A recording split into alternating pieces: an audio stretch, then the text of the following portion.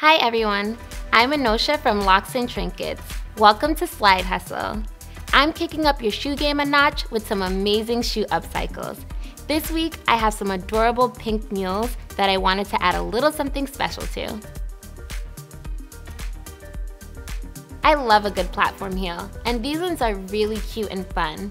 But I thought it would be nice to add a little feminine, delicate touch to them. So what better than ruffles? So instead of buying ruffles, we're gonna make our own. So I'm choosing three different types of fabric. One that has a little bit more weight to it, one that's a little more sheer, and one with some texture. I'm gonna use a cookie cutter. Place your fabric down, place on the cookie cutter, grab a marker, and just trace a circle. To save some time, I've already traced them out. So the next step is to just cut out your circles. Working with less fabric always makes it easier, so I'm just gonna cut a square around the circle. And when you're ready to cut the circle, make sure you cut inside the line, so you don't have that blue line in your fabric. And then you have a perfect circle. I've already cut some out, so when you're done, it'll look like this. And the next step is to start making the ruffle. This is an easy way to do it. Take each color and fold them in half. I chose three different colors of fabric because I thought it would give the ruffles a little bit more dimension. It helps if you place them in a bowl to keep the shape. So next you're going to get your needle and thread ready. I'm using a larger embroidery needle because it'll be easier to get through all that fabric. Once you have your desired length, you just cut it and tie a knot at the end. For extra security, you can tie another knot. Once you're done tying your knot, it's time to sew the ruffle. So you're gonna take your bowl, start with a few at a time.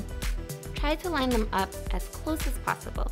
Then you're going to take your needle and thread and sew as close to the crease as possible.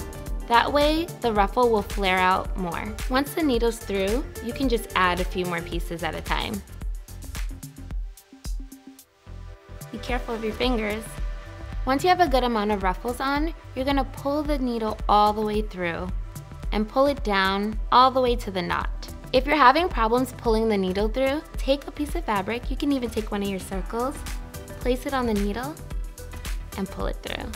Once you have it pulled to the knot, we're gonna add more ruffles. You can make your ruffle as big or small as you want. I'm gonna make mine a little bit longer. Once you have all the ruffles placed, you're gonna sew it around two or three times to just make sure that it's nice and secure. You can just push through a few at a time to make it easier on yourself. Once you have the needle sticking through, you can use pliers to pull it out. If you want your ruffles a little tighter, you can go around two or three more times, but I like the way this looks, so I'm gonna stop right here.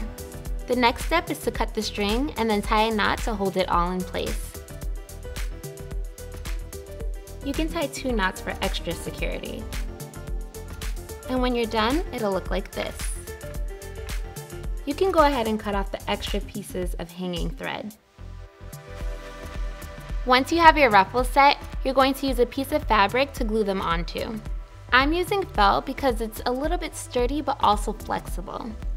So I'm just gonna make sure to cut a strip that's thinner than my ruffles so you won't see it through. Once you have your strip, you're ready to glue it on. You can use an E6000 glue or any transparent industrial strength glue to glue on your ruffles. This is better than fabric glue because it's a little bit thicker and it'll give you a stronger hold. So we're gluing the ruffles onto the strip because that'll give you a solid surface when you're gluing it onto the shoe. It's okay if your fabric's a little bit longer than the actual ruffles, you can go ahead and cut off the excess after you glue them on. So you're gonna take your ruffle strip and you're gonna glue it onto your piece of fabric. Try to make sure the fabric is right in the center of the ruffles. You're gonna go ahead and cut off the excess fabric. So I'm just seeing where I want to place the ruffles. I think that looks good. Take out your glue again. Be generous with the amount of glue that you add on because we want it to stick on nice and good. When you're done gluing, you just place it on. So gluing the ruffles onto the felt fabric made it so much easier because it just molds to the shape of the shoe. And there you have it, the perfect little ruffle shoe. Ruffles really add the perfect amount of girliness. You can wear them to brunch with your girls or to a wedding. Check out bemakeful.com for some amazing DIYs. And if you try these shoes, I have to see them. Tag us at bemakeful and use the hashtag slidehustle. Thanks for watching. See you next time.